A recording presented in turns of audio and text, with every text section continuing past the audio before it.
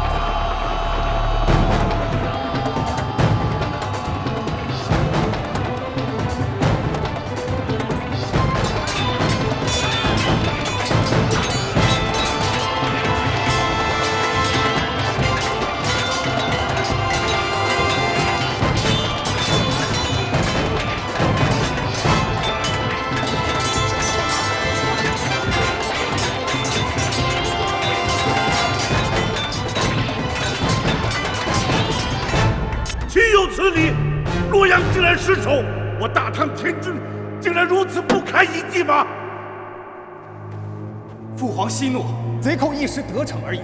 只要父皇再出讨伐大军，贼寇必平，不在话下。是，是要再出征。这一次，朕要亲自出征。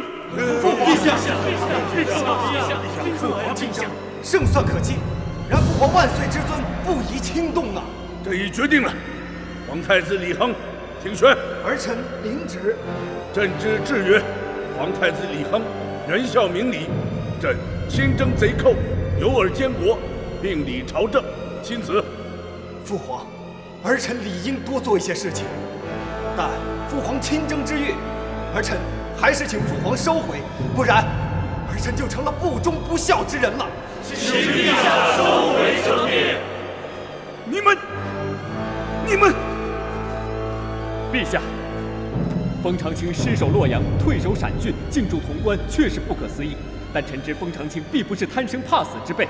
臣请旨再募新军，挺进潼关，必使我大唐京师长安这最后一道防线固若金汤。不，朕给你募集新军的全权。朕准你再募集新军五万。朕赐你率领的新军“天武军”称号，因为你是代朕挂帅亲征。朕不要你固守，朕要你出战，朕要你战而胜之，朕要你把那个狗贼安禄山拿下来，带到朕的面前，朕要亲手杀死他，千刀万剐。陛下，怎么了？你有异议？臣领旨。臣定然将军情及时向陛下禀奏。禀报军情，朕不需要你去做这些琐事。朕为你派个监军，军前事宜由他来向朕禀奏。是。好了，就这么办。恒儿，儿臣在。以你故请，朕未能下旨。可你是太子，以后朝廷的事，你就多管一些。儿臣遵旨。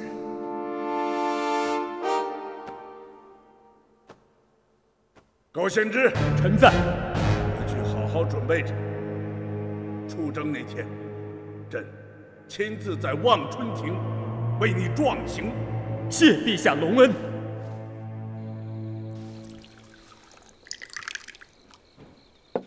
贤侄，今天我让管家找了幅地图过来。这么说来，朝廷廷议的事你都知道了。你别忘了，我陪着我玉环姐在宫里待了十五年。是是，你是老江湖嘛。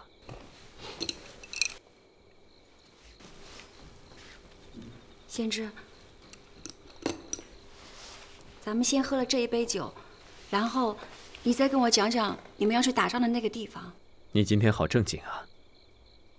好，我说。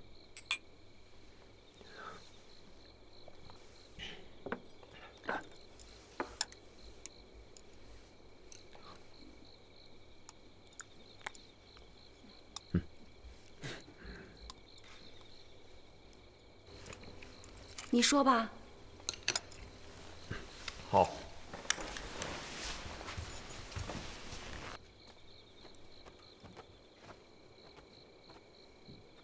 这幅图很清楚，我要去的就是这个地方潼关。其实它还有一个地名，就是这个进沟口。横跨这个进沟口就是连城，这个连城是南北方向的，也就是潼关的关防。我这次带兵要去的，也就是这个叫做连城的地方。你明白了吗？我要问的是，安禄山那个大坏蛋和他的贼兵贼将在哪里？你呢？你们又在哪里？安禄山他们在这里，我就在这儿。好像离得很近。那，那他要是射箭，他能射到你？想什么呢你？这是地图，看着很近，其实啊，离得远着呢。要说射箭啊，恐怕是安禄山进攻连城，我军拿箭射他。我只要固守潼关，安禄山不能入关，长安就不会有危险。我不担心长安，我担心的是你。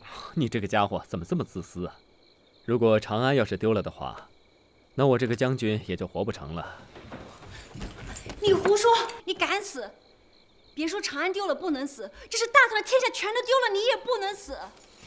哪怕是天下的人全都死光了，你也不能死。你要是敢死，我就先死给你看。好了好了，我不死总行了吧？我最担心的就是这个，你要去打仗的地方，那是刀枪都不长眼睛的地方。你要是有个三长两短的，我该怎么活呀？家里面有这么漂亮的老婆等着我，我为什么要死？难道我是吃饱了撑的？嗯？你知道就好。我知道，我知道，我当然知道。我们饭还没吃完呢。这天下只有一样东西最好吃，这东西不是别的，就是你啊！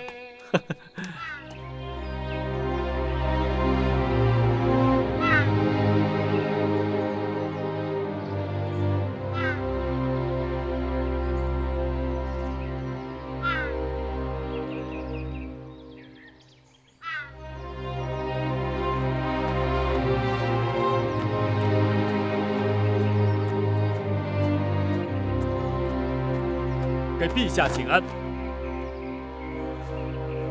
贤侄啊，起来，来来来，谢陛下。贤侄啊，朕给你配了个监军。边令城见过高将军。久仰。贤侄啊，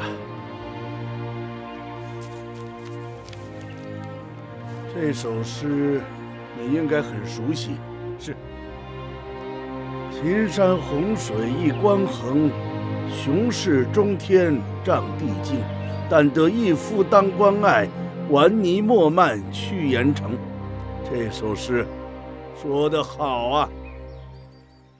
这首诗说的是潼关横踞在秦岭和黄河之间，虎视中原，保护长安。于是就有了一个传说，说是这潼关呢，一夫当关，万夫莫开。恕臣直言，这不过是狂妄者的蓝言。啊，你知道这是胡说八道就好。其实就是在战国时代，这个关口也多次被突破，所以两军对垒永远都是实力较量，不能仅仅凭借一个关隘。陛下圣明。嗯。啊，朕把这首诗送给你。臣高先知，谢陛下。朕的意思你应该明白，固守固守，不如以攻为守。一鼓作气，歼敌于潼关之外。陛下，封长清退守潼关之后，手中还有不少兵马，却始终未向关外发动进攻。臣以为其中必有原因。以朕看来，没有别的原因，就是打怕了，怕死了，岂有他哉？贤侄啊，朕要你去潼关。不是要你去守，是要你进攻、进攻再进攻，把那个安禄山杀他个落花流水。陛下，大敌当前，臣会实事求是，制定出最好的攻守方略。嗨，高将军，方才陛下圣谕进攻、进攻再进攻，所以只有进攻方略，没有攻守方略。边公公，战场局势瞬息万变，究竟制定何等方略，总要审时度势，考虑周全，方能保证稳操胜券。先知啊，审时度势是对的，可有的时候，你稍有迟疑，则战机稍纵即逝，这一点你一定要牢记。微臣明白。去吧，朕等着你胜利凯旋的消息。凯旋之日，还是在这里，朕为尔等接风洗尘。去吧，谢陛下，定不臣定不辜负陛下期盼。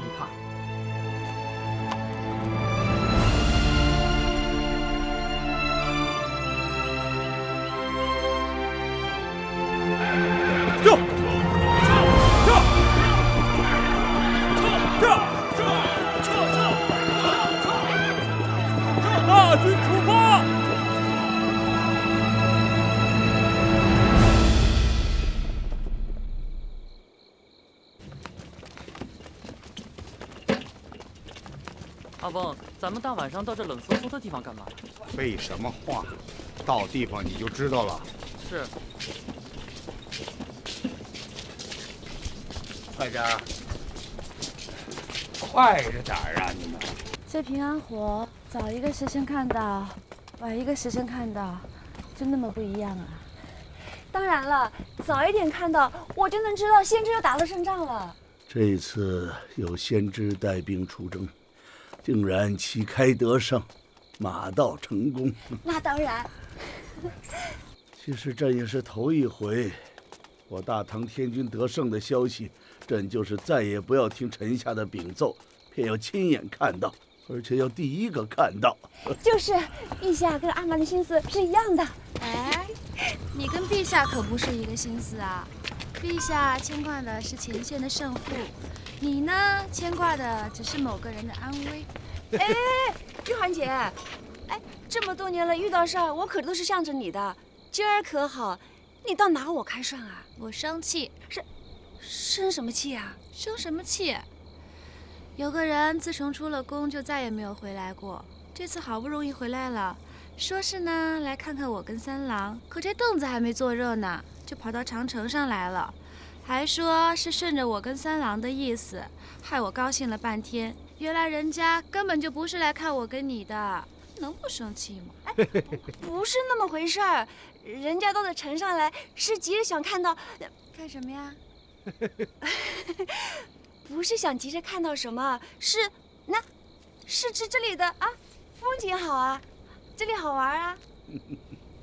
三郎，以前那个伶牙俐齿，一心向着我们的谢阿蛮，是再也找不回来了。玉环姐。陛下。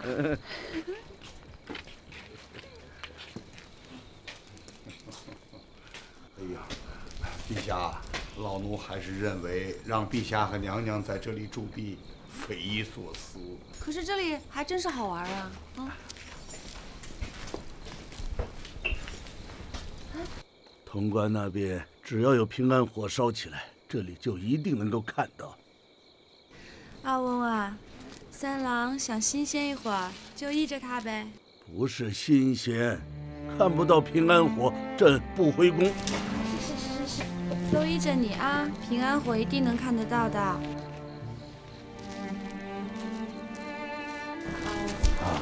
至于这里需要的东西，还得从宫里拿过来，真是有劳阿恩了。哎呀，就是把后宫都搬过来，那也没什么难的，就是担心让陛下和您住在这里，怕憋屈了您跟陛下。你看他们俩会憋屈吗？放心好了。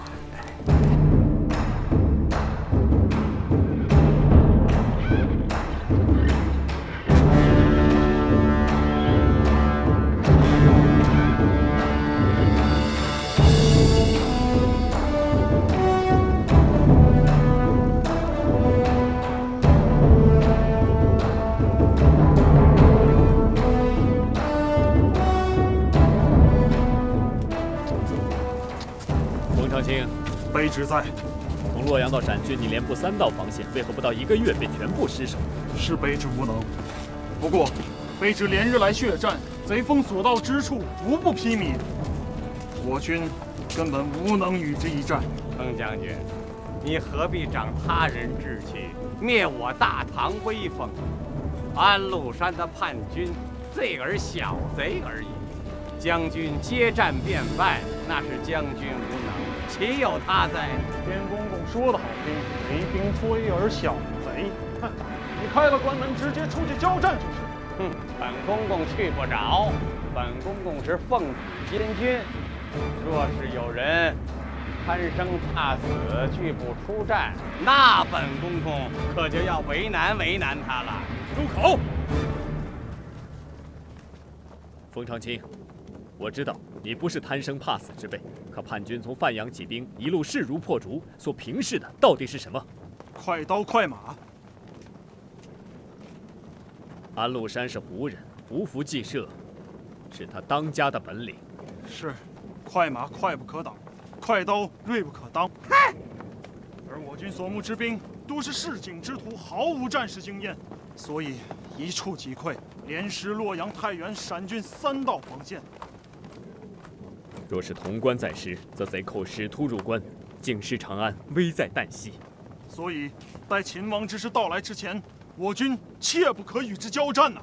高将军，守住潼关，只要守住潼关，方是上上之策呀！住口！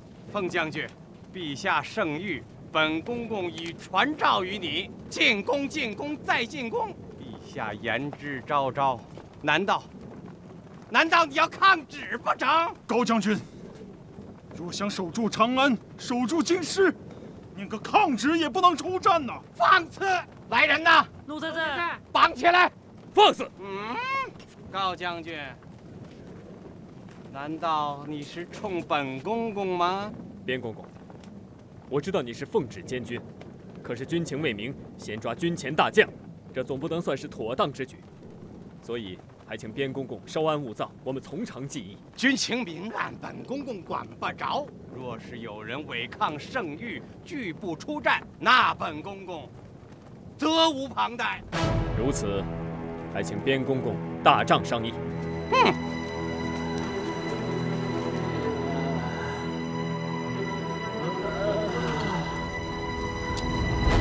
高将军，将军，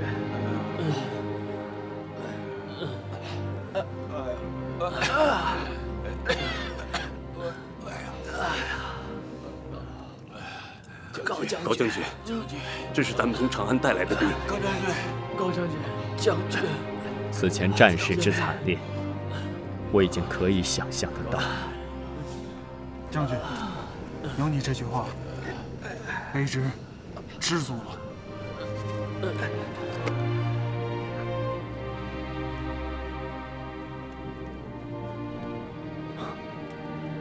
那些好像是没负伤的。什么？高将军请看我军的军旗。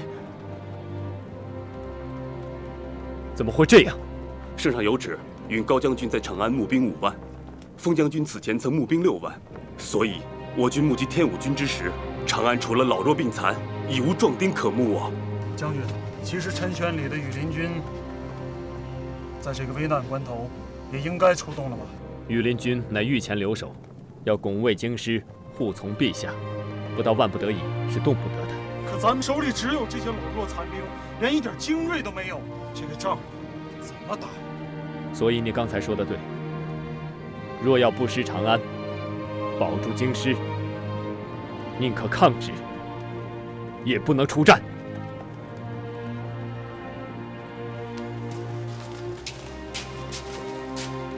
反正出不出战呢？商量的怎么样了？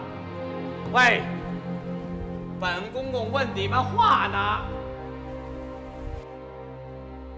边公公，请看。贼寇方动，陛下就已颁发秦王圣谕。我们出京之前，已经接到朔方节度使郭子仪、太原尹王承业、潞州长史程千里等地方官员率兵赴关中擒王的消息。鞭长莫及。还有朔方、河西、陇右这三个地方，也已经奉上谕开始募兵，只是尚未到达关中。这远水解不了近渴，你跟我说这些，管个屁用啊！边公公，我说的其实就是目前的局势。公公定然看到了，我军当前在潼关的兵士，不是老弱就是伤残，毫无战力。若是调配得当，或可用来防守；若是贸然与敌交锋，那就不是打仗，而是送死啊！哼，还是怕死不是？死不可怕，可是战也罢，守也罢，咱们的目的都是拱卫长安，保住京师。要达到这个目的，潼关不失守，这是我军拼死也要达到的战略目标。所以，边公公固守潼关，等待秦王大军从四面八方赶到关中。到那时候，我军合围敌寇，方能以优势兵力将敌人一举歼灭。狡辩，全都是狡辩！陛下圣谕，进攻，进攻，再进攻，这是陛下运筹帷幄、决胜千里、最最圣明的战略决策。尔等必须速战速决。我跟你们说。你们是战也得战，不战也得战，没别的选择。卞公公，恕我直言，如今大敌当前，攻守方略还是要审时度势方能制定啊！哎，你还要本公公我跟你说几回呀？啊，你高先知此番奉御出征，嗯，只有进攻，没有防守，这是圣谕，圣谕，你懂吗？我所懂的。就是将在外，君命有所不受。你说什么？难道你没有听过吗？将在外，君命有所不受。怎么？你想造反吗？边令成，你算什么东西？你不过是个太监，除了颐指气使、仗势张扬，其实什么都不懂。所以从现在开始，把你的臭嘴给我闭上。好啊，反了，反了，好啊。我看你是不想活了，你是活腻歪了。那好，本公公我就成全你啊！哎，你们给我等着，等着你们！哎，公公，别公公，高将军，这种人可得罪不得呀。他一定是回宫禀奏陛下去了。我就不信陛下会偏听偏信，跟这种小人一般见识。不管他，给我传令下去：三军固守潼关，敢擅自出战者。斩！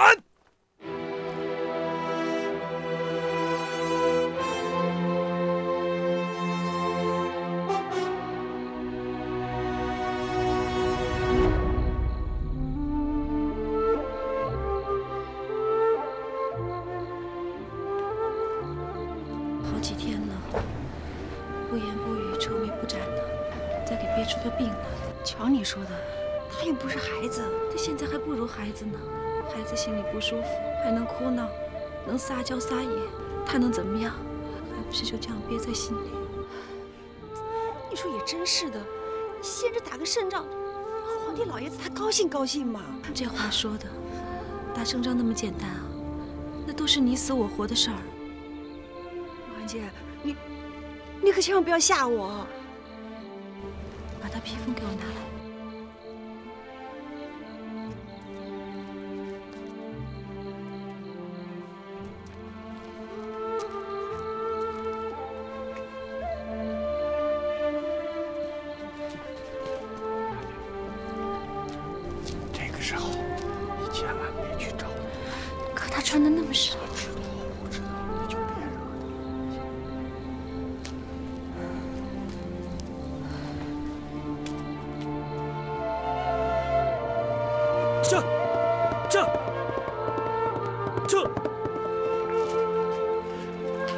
报！妈，是潼关来了急件。啊，是先知的消息！哎，阿满，报！别着急，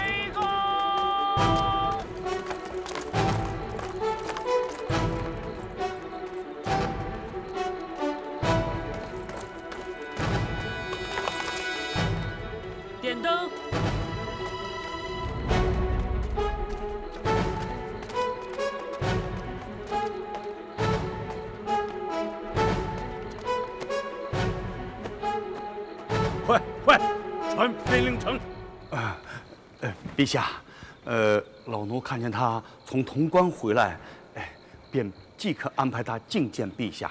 陛下不要着急，老奴琢磨着，啊，他即刻就到了。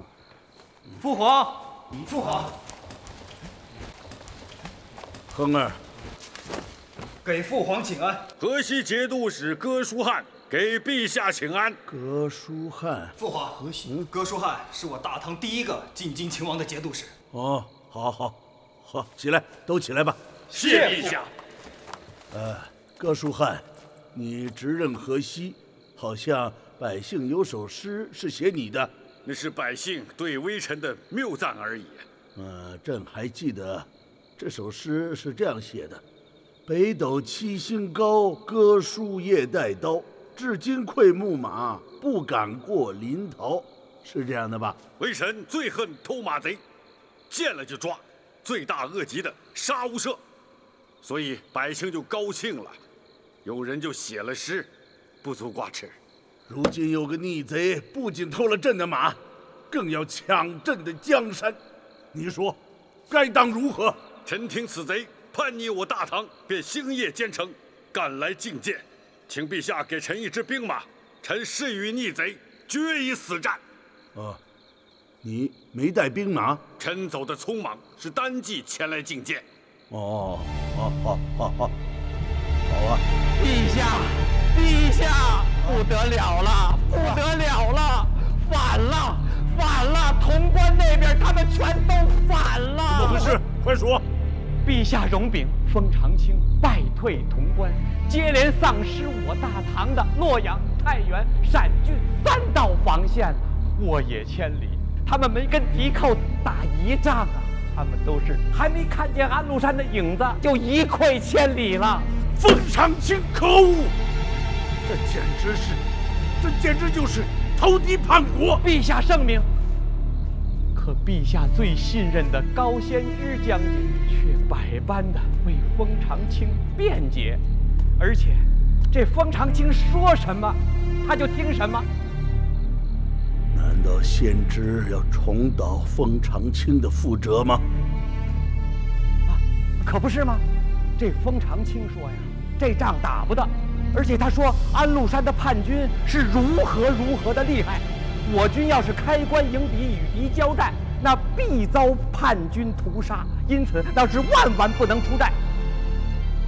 奴才认为，他们这是贪生怕死啊！结果高仙芝把奴才骂的是个狗血喷头，只要奴才一开口劝他开棺杀敌，他就要斩杀奴才。反了，反了，都反了！潼关那边，我军兵力如何？安禄山兵力如何？啊，这个奴才查的是一清二楚。冯长清，他的部队未曾与敌交战，那就退到了潼关，所以他的六万大军那是毫发未损。而殿下让高仙芝在京城募集的五万天武军，那不刚到潼关吗？更是兵强马壮啊！这两支部队加起来，那就是十一万的将士啊。而安禄山攻到潼关底下的叛军，那连伙夫、再挑夫，那加一块也不足五万呢。陛下，我军两倍于敌寇，可就是这，这高仙芝。他还是蔑视圣谕，拒不出战。蔑视圣谕。嗯。高仙芝说：“他说，说什么？他他他他他他说，将在外，君命有所不受。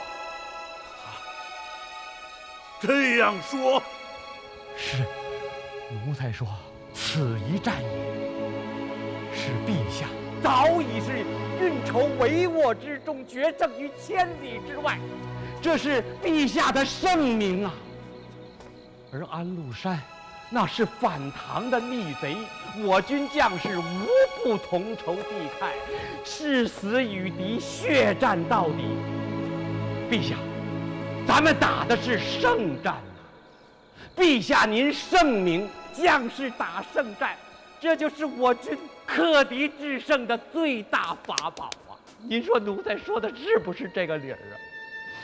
可他们，他们却说奴才是放屁呀！圣战，边令城在。这两个字说得好。圣战，朕一定要开打。任他是谁也挡不住。高力士，奴才来。取上方宝剑。遵旨。干什么？陛下要杀人吗？他要杀谁啊？是不是要杀先知啊？在这等着，我进去看看。葛书汉，臣在。朕诏封你为皇太子，先锋兵马大元帅。臣领旨谢恩。只是，只是什么？潼关有将帅，恐怕不会将前敌帅印交给微臣。是不会，因为陛下绝不会前敌易帅。给贵妃娘娘请安。玉环，朕这是在处理朝政。我知道。我是主持后宫的，不能干预朝政，我也从来没有干预过。可今日，请三郎允我破例。玉环，你你这是，这这是为什么吗？因为我太了解先知了。我了解，你方才向陛下禀奏的高将军，绝不是你说的那种人。这这，陛下，奴才跟高将军。没有私仇啊！奴才禀奏的句句都是实情啊！玉环，你过分了！臣妾请陛下准臣妾再说点过分的话。朕不准！三郎，你今天准还是不准，我都要说。三郎，你想想，先知几番为大唐出生入死，他岂是贪生怕死之人？他不出战，定然有他不出战的道理。朕不容许！他绝不会藐视圣谕。想一想啊，他从小跟太子爷一起长大，就如同你的儿子一般，他怎么会蔑视你和你说的话？说这样话的人，定是别有用心。陛下，奴奴才没够了，是够了。臣妾请陛下收回成命。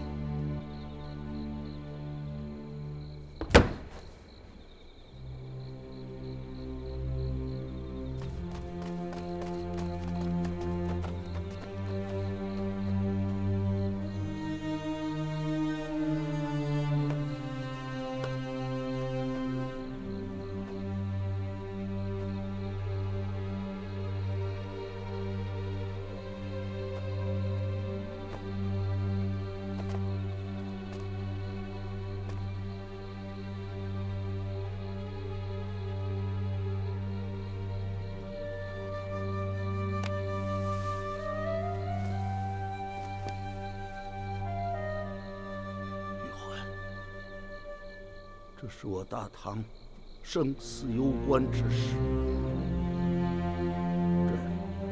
朕不能容忍私情，一念之差会亡我社稷。三郎却不能有一念之差，这是人命关天呐！三郎绝对不是无情之人，三郎也更不会滥杀无辜。可是有罪之人一定要治罪，未然之事一定要防范，不然国法何在？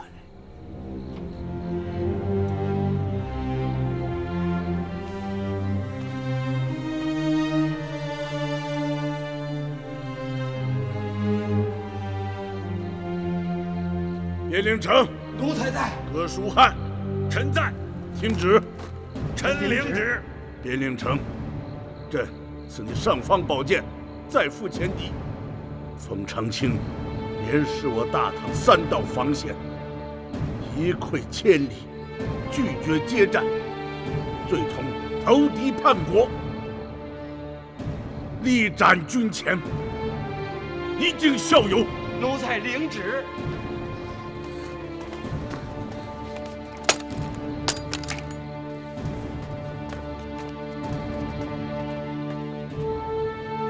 葛书汉，臣在。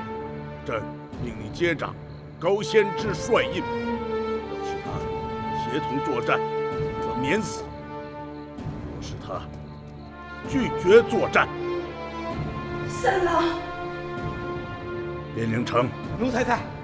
记住这八个字：出战免死，不战处斩。无论他是什么人，就这么办。奴才秉承圣谕。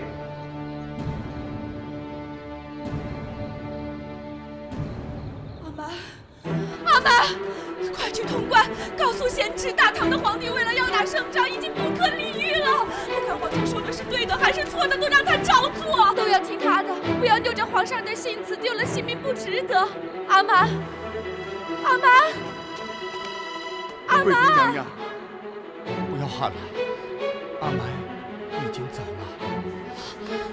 他去哪儿了？娘娘要对阿蛮说的话，老奴已然对阿蛮说了。就像娘娘刚才说的，无论什么原因，要让高将军出战呢。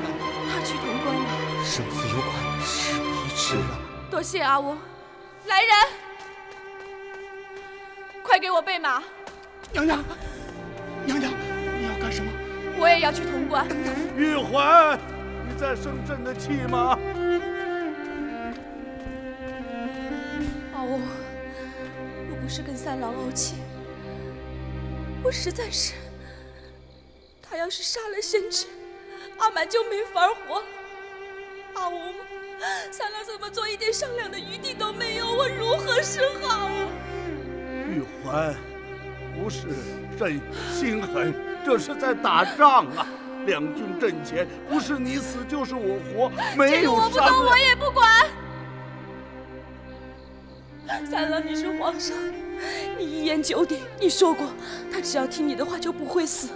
我管不了你，我也不能管你。可我到前线去总可以吧？我去帮着阿门说服先知，让他听你的话，让他打仗，他就不会死了，不是吗？安然，贵妃娘娘容禀，阿蛮姑娘已经去了潼关，您就没必要再去了吧？娘娘最了解阿蛮，娘娘要对高将军嘱咐的话，阿蛮肯定也说过了，而且说的会更动情。这其二呢，如果高将军连阿蛮姑娘的话都听不进去，那你去了又有什么用呢？这其三，若真是那样的话，您就是八百里加急赶过去，恐怕也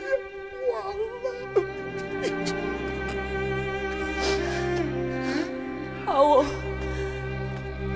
阿曼能说服贤侄吗？啊！贵妃娘娘，阿曼那死丫头，她能把死人都说活。高将军一个大男人，大活人，他能难道能眼睁睁看着他死吗？